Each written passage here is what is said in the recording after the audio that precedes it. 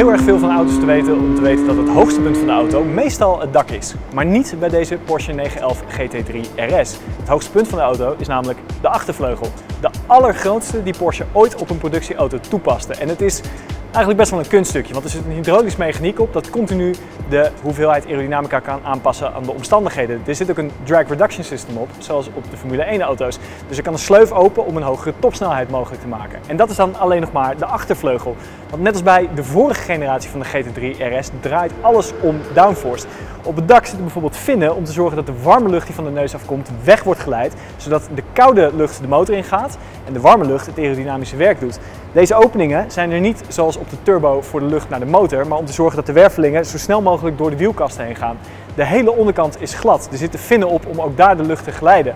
Alles staat in het teken van de aerodynamica en dat betekent dat deze auto bij 285 km per uur 860 kilo aan downforce kan genereren. Dat is een hele Suzuki Swift die je gewoon op het dak zet.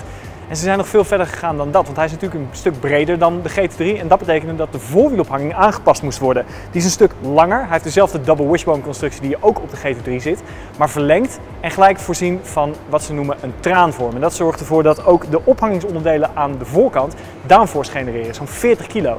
En dan is er nog de radiateur, want die hete lucht komt niet van drie radiatoren waarvan er eentje centraal zit en twee aan de zijkant, maar in plaats daarvan zit er één heel groot exemplaar hier in het midden. Daardoor is hij efficiënter. Betekent alleen ook dat je daar dus geen bagageruimte meer hebt. En dat is best jammer, want dan kun je ook geen schone onderbroek meer meenemen.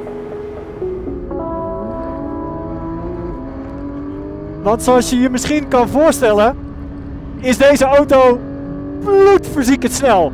Allereerst is er de motor natuurlijk. Dezelfde 4 liter 6 cilinder boxermotor, atmosferisch die je kent uit de GT3. Ietsje meer vermogen, 525 pk. Versnellingsbak met kortere verhoudingen. Daardoor is hij sneller van 0 naar 100, 3,2 seconden. Oh. Er zit een DRS-functie op, maar alsnog, omdat hij zoveel downforce genereert, is hij op topsnelheid langzamer dan de GT3, die minder vermogen heeft. Sterker nog, de GT3 RS is samen met de absolute basisvariant, de Carrera, de enige motor waarmee de 911 Coupé niet de 300 km per uur haalt. 296 slechts. Wel snellere acceleratie en omdat die bakverhoudingen nog korter zijn, zit je nu constant in het gebied waarin die motor brult en trekt en schreeuwt.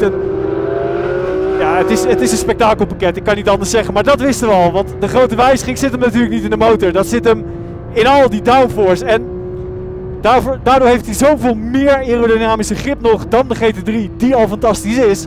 En aerodynamische grip is altijd een beetje eng. Want mechanische grip, dat is iets wat je voelt bij laag tempo. En dat ga je dan opbouwen. En dan weet je wel ongeveer waar de limiet ligt. Aerodynamische grip is heel anders. Want als je zacht rijdt, is het er gewoon simpelweg helemaal niet. Dus het is een beetje als bungee jumpen. Je moet maar gewoon springen en hopen dat het materiaal zijn werk doet. En dat maakt dit ja, best wel eng, want ik rij op Silverstone. Nou, iedereen die wel eens een Formule 1 race heeft gezien hier weet dat dat circuit gigantisch snel is. Dus die downforce die kan mooi zijn werk doen. Maar het is echt, ik rij achter een instructeur aan die dit al een paar weken doet en professioneel coureur is. En dan nog moet ik continu vechten tegen de impuls. Dat al mijn zintuigen zeggen, je gaat echt een, een, een waanzinnig ongeluk tegemoet. Doe het niet, rem. Maar als je het nu doet en je stuurt voor het eerst in. En je hebt die snelheid om die aerodynamica te laten werken. Die zichzelf continu ook varieert, zowel voor als achter. Mijn hemel, je kan zoveel harder dan je denkt. Deze auto is in de letterlijke zin van het woord grensverleggend. Want elke keer dat jij in de buurt van de grens komt, drukt de aerodynamica harder. Worden de banden warmer, kun je later remmen, worden de remmen warmer, worden de banden warmer. En dan ligt die grens dus weer verder. Dan kun je ook nog met de vier knoppen op het stuur zowel de demping als de rebound van de voor- en achteras handmatig instellen. Je kunt de mate van sperwerking instellen om zo meer overstuur en onderstuur, bocht in en bocht uit. Tractiecontrole in meerdere standen instelbaar, ESP in meerdere standen verstelbaar.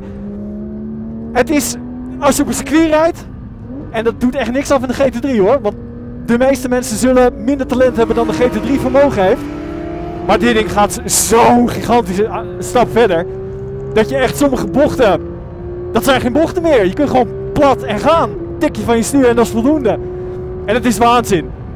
En het is ook waanzin dat als je denkt dat je dit moet hebben en niet de standaard GT3, dan moet je echt gigantisch veel talent hebben. En bovendien hele diepe zakken. Want het begint pas bij 325.000 euro. En als je voor deze gaat en niet voor de GT3, dan is het je kennelijk echt te doen om die laatste tiende van seconde. En dan wil je dus ook het Weissach pakket met Carbon Rockoy, bijna 40.000 euro erbij. Dan wil je de carbon keramische remmen erbij, alle koolstofvezel opties, zodat hij inderdaad maar 1450 kilo weegt. Dan wil je de titanium wielen. Kortom, je wilt het hele pakket en dan heb je een 911 van bijna 4 ton. Of nee, dat zeg ik verkeerd. Je hebt een racewagen met een kenteken die vaag lijkt op een 911 voor 4 ton. En je kan voor dat geld wel zeggen, ik heb de allergrootste productievleugel die ooit op een Porsche zat.